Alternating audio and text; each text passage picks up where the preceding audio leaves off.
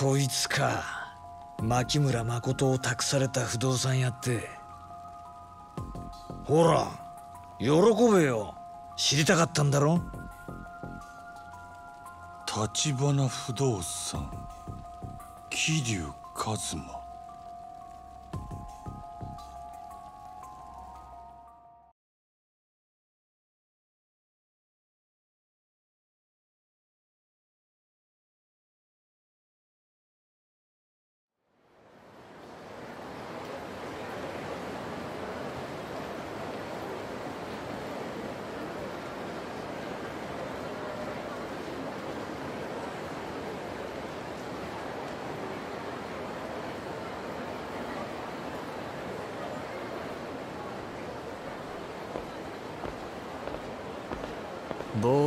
落ち着かねえな。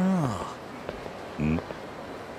前に俺がいた頃の蒼天堀とはどこか違う。似て非なるものって感じか。あんた蒼天堀にいたことが？カムロ町に来る前は俺も立花社長もこの町にいた。ほんの1年半くらい前のことだ。その頃の俺らはマフィアと名乗っちゃいたけどほんの45人の所帯でね。ただ社長はその頃から近江のヤクザにさえ一目置かれてた。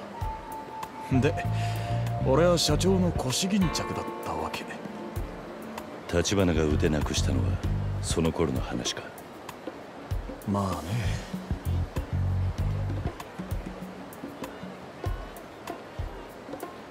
当時組んでたやつが今笑福町にしてちょっといかがわしいビデオショップやっててな。キャルって名前の店だ。お前先に一人でそこに行っててくれるか。話は全部通ってる。俺はその前にちょっと寄るとこがあるんでね。寄るとこ？この町の今の様子を知っておきたい。蒼天堀で動いてたうちの人間と情報交換してくる渋沢組と近江連合の動きも少しはわかるかもな。そうか。お前にはビデオ屋でセラって男からの電話を受けてほしいんだ。そいつが今例の牧村誠をかくまっててね。電話で彼女を引き渡す段取りを伝えてくる。セラってのも立花不動産のもんか。いや登場界の人間だ。日教連って組織のな日教連。聞いたことねえな。俺もよくは知らねえがそのセラって男は風間の親分さんと通じているらしい。うちの社長が掴んだ情報をもとに蒼天堀で牧村誠の行方を探してたんだ。なるほどな。で要するにあんたが街をぶらついてる間俺は電話番ってわけかそういうこと。じゃまた後でな。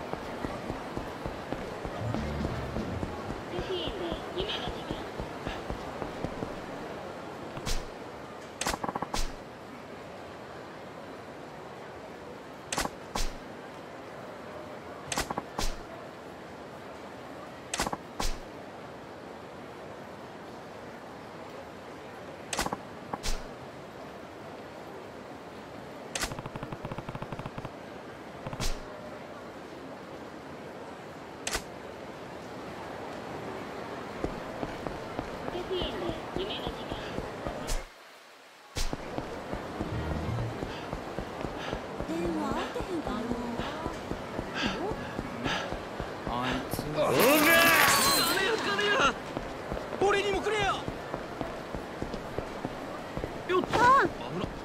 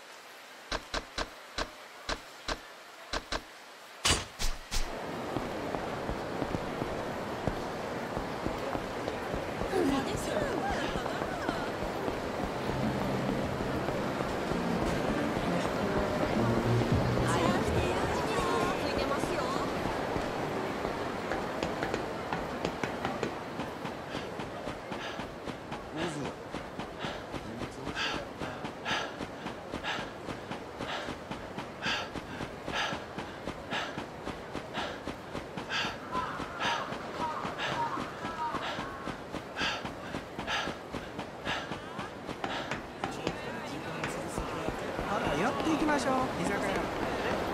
まだ間に合うで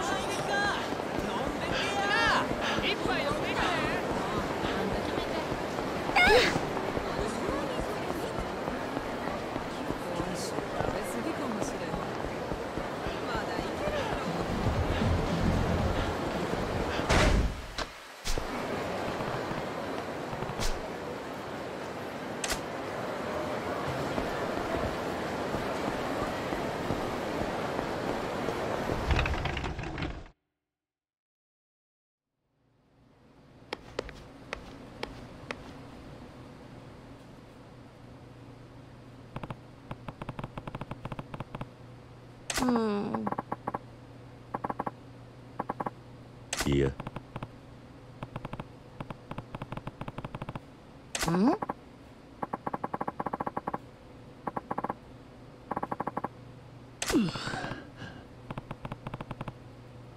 え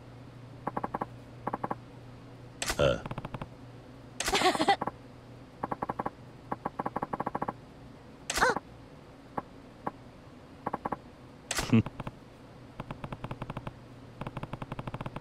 え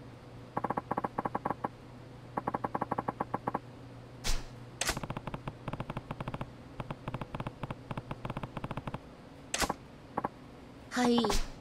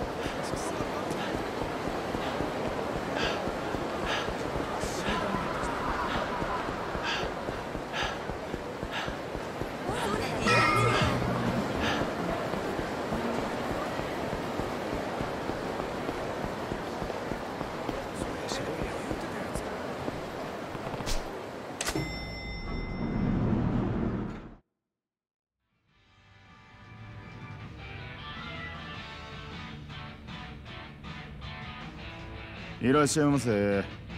ん？初めてのお客さん。うちはええもん揃ってますよ。どんな趣味嗜好でも絶対お好みのが見つかりますわ。まあベータか VHS かだけは気ぃつけてくださいね。俺は橘不動産のもんだ。小田から話が行ってるはずだが。なんやそんじゃあんたが桐生さん。ああほなちょっと待ってな。奥に部屋あるから。ん？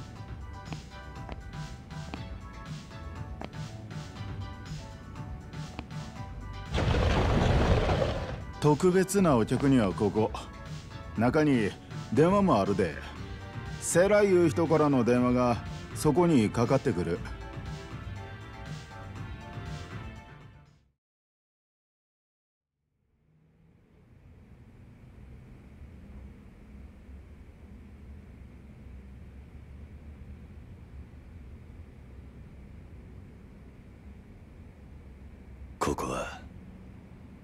あんたの趣味の部屋ってことか。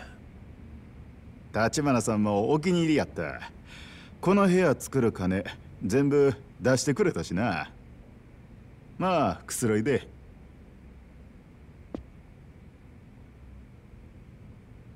ほんで立花さん元気しとる？ああまあな。人工透析でしんどいんやろ？蒼天堀いる頃はまだ透析やってなかったんやけどね。あんた立花とは長いのか？どっちか言うと小田さんとの方が長いな。僕は小田さんともう二人くらいでケチなグレン隊やっとった。そこに2年前一匹狼やった立花さんが現れたんや。きっかけは肩がぶつかったとかしょうもないいざこざやったと思う。せやけどたった一人の立花さんに僕らまるでかなわんかった。喧嘩で負けたことない小田さんかて子供扱いやったで。今の立花からは想像つかねえな。まだあの人が片腕なくす前の話や。せやけど立花さんにボコボコにされて意外やったのは小田さんの反応やった。ん？立花さんの器量にぞっこん惚れ込んでしまいに自分たちの頭になってくれってな。まあ貫禄の差や。立花さんは生い立ちからして普通とちゃうしね。何のことだ？聞いてない？立花さんは中国残留孤児の2世やで中国残留孤児。立花さんのお母さんは日本人やった。中国で生まれてすぐまだ赤ん坊の頃に戦争の大混乱で親と離れ離れになって旧満州に取り残されてな。中国人農家に拾われて年頃になるとそこの子供と結婚させられたらしい。立花さんはその間に生まれたんや。立花さん日本人の子や言うて周りからえらいいじめられたそうや。戦争のことで中国人はみんな日本を恨んどる。日本人言うだけでいつ殺されてもおかしない雰囲気やった。けどその土地のマフィアだけは立花さんを理不尽な目に遭わさんかった。連中もほとんどが金なかったり家柄悪かったりの鼻つまみやからな。で立花さんも自然とガキン頃からマフィアに馴染んでったそうや。僕らとじゃ年季がちゃう。小田さんなんて年は自分の方が上やのに立花さんのことは兄貴や呼んどった。小田。よう店はほったらかしか。客が困ってたぞあれほんま？ほなごめんな。ごゆっくり。あいつ話長かったろ。ああ。あんたらの話を聞かされてた。もしかして俺が社長に惚れ込んでたとかって話か？話半分に聞いとけよ。それよりあんたの方は案外戻りが早かったなああ。でも面白い話が聞けたよ。何日か前牧村誠の死体ってのが蒼天堀に浮かんだらしい。何？